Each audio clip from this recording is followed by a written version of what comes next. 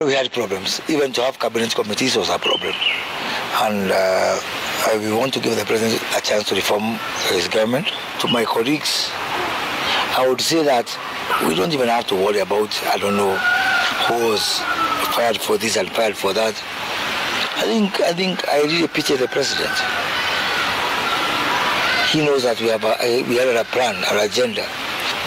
And the president had to do what it takes. If me I have to sacrifice my cabinet position for us to have a country, so be it. Sometimes a man what to go, had to do. I've been calling them the generation of Twitter. I know uh, Uber and fish fingers. That's what I've been calling them, you know. They have proven me wrong. They have proven me wrong, you know. Now, the Uber and fish fingers people have shown me that they can become an important engine of taking this country forward and refocusing this country. By the way, if I have my wish, if God tells me, close your eyes and make a wish, I want to be Gen Z.